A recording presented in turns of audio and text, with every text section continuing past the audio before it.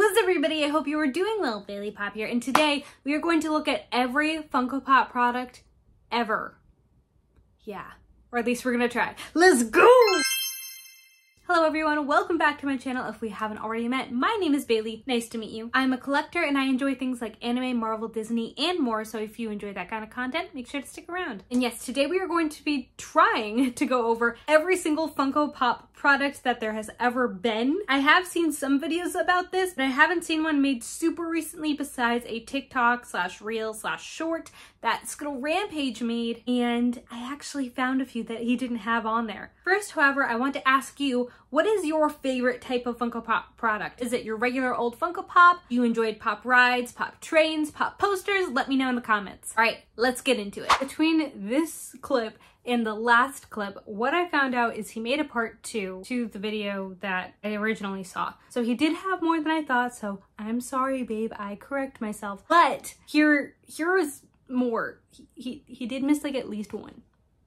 So you better watch out to find out which one. So back in 2021, there was somebody on the Funko blog that tried to record all the different sizes and everything. There have been new products and sizes since then. For instance, now we have Bitty Pops. They don't have those on there and we have new covers. And there are so many products that I don't think they could document them, but hey, Funko, if you want to use this as a reference, please feel free. But they do provide a whole chart showing you the size differences, which is really cool on the website. But let's start at the top, work our way down, and then anything else that I feel like they've missed, I have a whole little notepad here that I should have organized better full of things that aren't on that website. And no, I'm not going to be going over all of the different kinds of finishes that they have on pops. For instance, now they have facet. I always want to call them faucet. Metallic and chrome and all of those things. I'm not going to go over all of that. I'm just going to focus on the sizes and the different kinds of products there are in general. All right, let's get into it. First up, we have Big and Box. Standard pops are approximately four inches tall. Those sizes range depending on the character. Figures that are at least 5 inches tall yet still shorter than 6 inches are considered to be big in box, since they are still packaged and sold in the standard size pop figures. This includes pops like Super Saiyan Kale, Thanos from The Garden, and the Earth Giant from Frozen. Next we have Pop Super. This is the term used to indicate that a figure is 6 inches tall. Super Pop figures include Hagrid, the Water Nokk from Frozen, and Eva Unit 01 or 1. I I don't, I have never seen that, so I don't know. The super pop that I have here in person is Sasuke Susanoo Pop. He's pretty big. That's what she said. Next we have Jumbo Pops, or Pop Jumbo. Anyway, Jumbo Pops are 10 inches tall. Available Jumbo Pops include all of these right here. So they are the second largest pops available. There is a size between super and jumbo that is essentially nine inches. If you go back to a lot of the old Disney pops, they did create a whole series with these with the original Disney logo, I believe. You know that Clouds Funko Days has a, I think it might be and Boo. For a 10 inch pop, you can see right there that I have Toothless. I also have Mushu. And we have Mega Pops. This is one of the newer sizes, well not as new now. And there is a smaller selection of characters available as Mega Pop at a whopping 18 inches tall. That's what she said. I have the Pikachu one. It is up there. I did a whole unboxing video for it if you want to see it. But yeah, they're 18 inches tall. My Pikachu does not stand up well at all. I do also have an Iron Man. He stands up pretty well. I actually don't know where he is. We gotta find him. I don't know how something that big is something we lost. We lost him in moving. Most of you also know they have a new pop size, which is a bitty pop. I don't know if it's considered technically a different brand of pop or if it's still considered part of the pop line, but I think they're like maybe an inch tall, if even. Like here is, ah, here is one. It's like half the size of my thumb and I have small thumbs. Those are all the regular pop sizes. Now let's go into the rest of them. That's the best way to describe it. The rest of them. First, we have pop pen toppers, and I actually have two right here. I'm not going to take them, oh, I can take this one out, but this one will take more effort.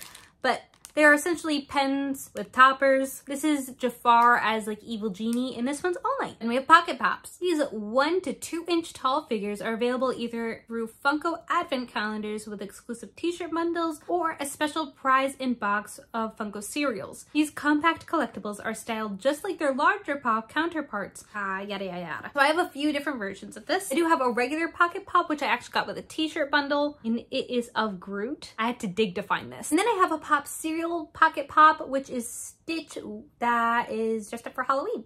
Yeah. And they have something wild card games, which is essentially card games that have pocket pops in them. Then there are pop keychains. Take your collection beyond the shelves and carry some of your favorite characters, such as keychains, pocket pop sized figures. Choose from characters like Pop, Han Solo, Leia, and Duff Duffman? Doofman? I don't know. Simpsons. I do have three of these, but I'm just to show you one. This is my Naruto. Ooh, Shidoshi. It's almost the same size as a Pocket Pop, essentially. Oh, okay. So they call it Pocket Pop Keychain.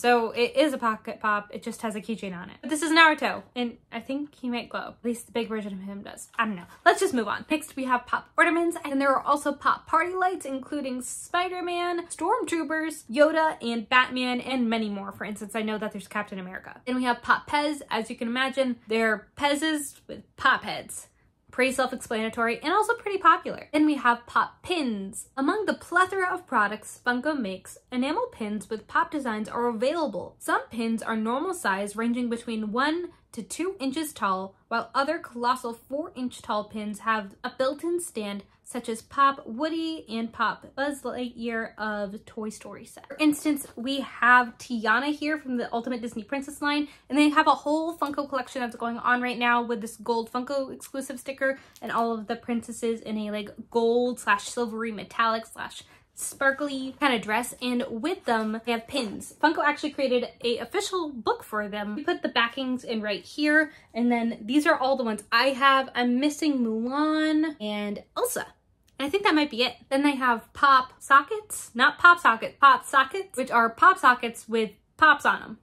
Yeah, then we have Pop and Buddy. These are usually standard size vinyl figures that come with a tiny separate companion figure. The example I have for you right here is actually Kyo with Cat. It's a Hot Topic exclusive and is also signed, so maybe this wasn't the best one to show as an example, but you can see in there that they have Kyo as Cat right there, and then they have the regular pop figure as well. Next, we have DIY Pops. These extra special pop figures are standard size vinyl figures that are coated with white primer and ready for you to paint, color, and overall transform to your creative desires. Most of them, to the best of my knowledge, are Disney Pops. I can't think of any that weren't. we have Pop mugs. As you can guess, it is a mug that looks like a pop. I know we have one somewhere. I have no idea where, but I think it's Doctor Strange. And I genuinely would use it if I knew where it was. Then there are pop watches. It is a watch with a pop on the inside, pretty self-explanatory. Then we start going into the multiple different kinds of pops that have a special name that could be confused with a jumbo or a super or something like that. First we have popped a lot. Also, if my glasses are like Cricut or anything, that's because they need to go get adjusted, so I'm sorry if that bothers you. This type of pop is typically characterized by one distinct figure set in a small scene. So there we have Edward Scissorhands, we have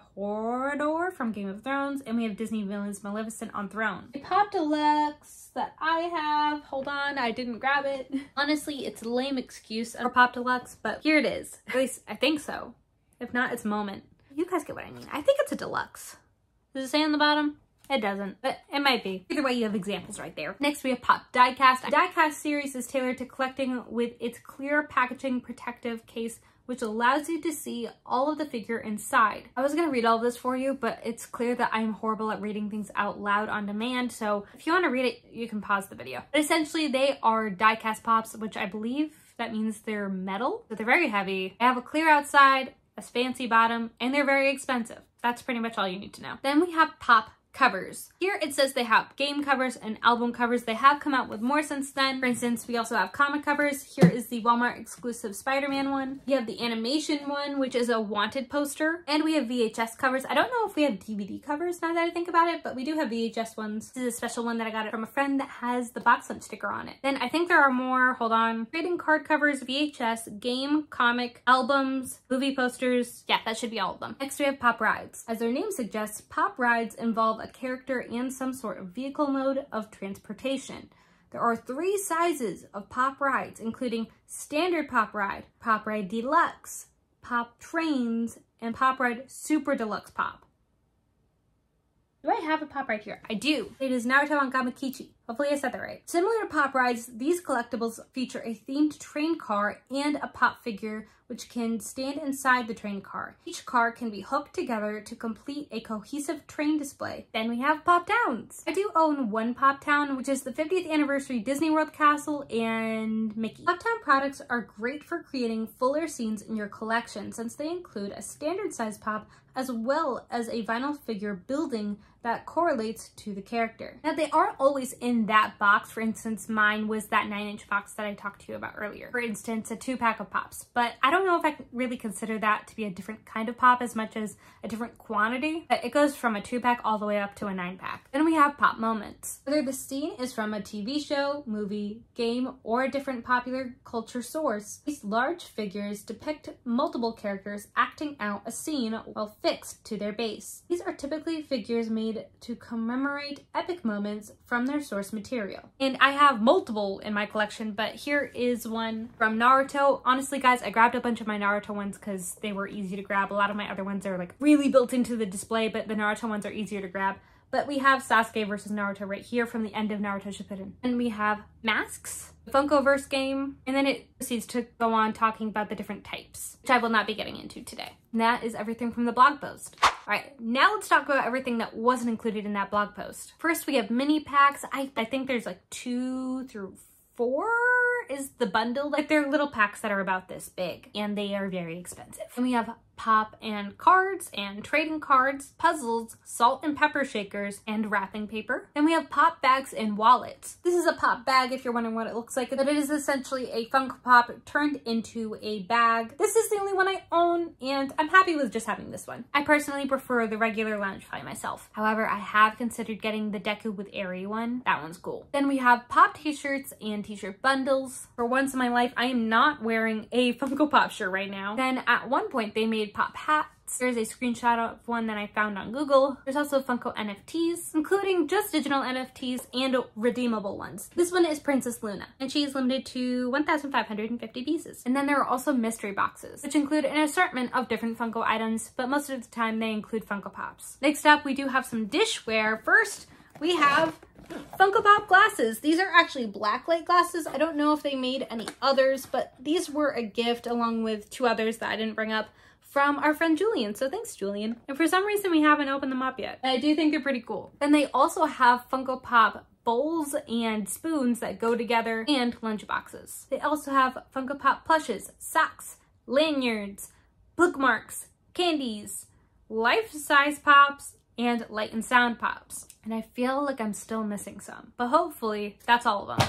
Oh, that's because I missed one. There's Funko Pop makeup. I bought this a while ago because I wanted to do a video for you guys and I still haven't because I'm afraid it's really not to do well. So if you want this video, you need to beg me in the comments because I don't know if it's worth it, honestly, to do a whole dedicated video because I know a lot of you are guys. So like, I don't know if you really care for that, but I promise it won't be like daily content or anything, but just me doing the makeup with these products. There was some Rugrats stuff, but they mainly did pop villains and honestly, I don't think it did that well and that's why they haven't made more. But we have a whole brush set right here. This is the Maleficent one and it comes with a bag. Everything I bought unused, by the way. Then there is a lip gloss. I was able to get a hold of the Maleficent one. It looks like it's separated a lot and that's because it came out like two or three years ago at this point. I don't think I'm going to be using this. then we have the blush and bronzer palette, which is Cruella.